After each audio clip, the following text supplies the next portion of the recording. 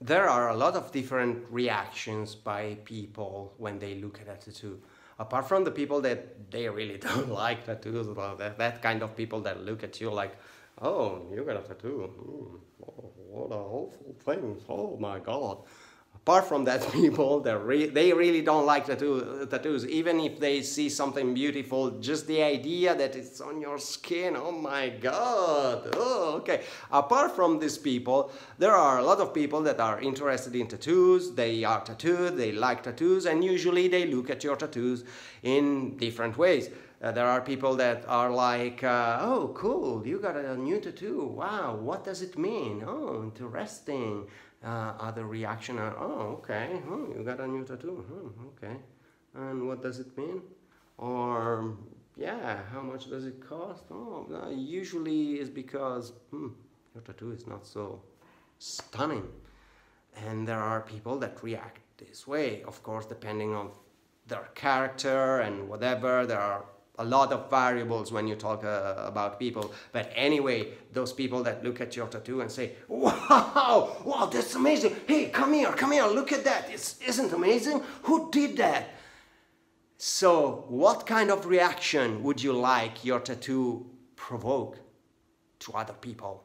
I think the last one or at least uh, you know maybe someone is not so exuberant so extrovert to say wow but maybe they like wow i never saw something like that. I really like it or something. You know uh, don't let me do every every human being in the world. It will take probably seven billions of uh, minutes. Anyway so what kind of reaction would you like your tattoo can provoke to other people. I think the last one, everybody wants something beautiful on their body. So to have something beautiful on your body, you should find the right artist and the right design. And uh, everything starts when you look at a design, at the work of a tattoo artist, and so on. You should feel the same kind of amazement when you look at his work or drawings or whatever. And when he create your design, the same, you should feel the same amazement and think, wow, I absolutely need that because it will stay with you for the rest of your life.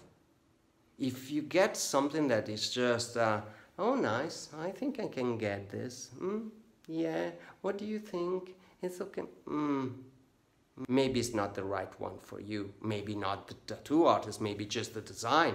Ask for something more amazing. So that's the kind of reaction you should have. Think about that drawing.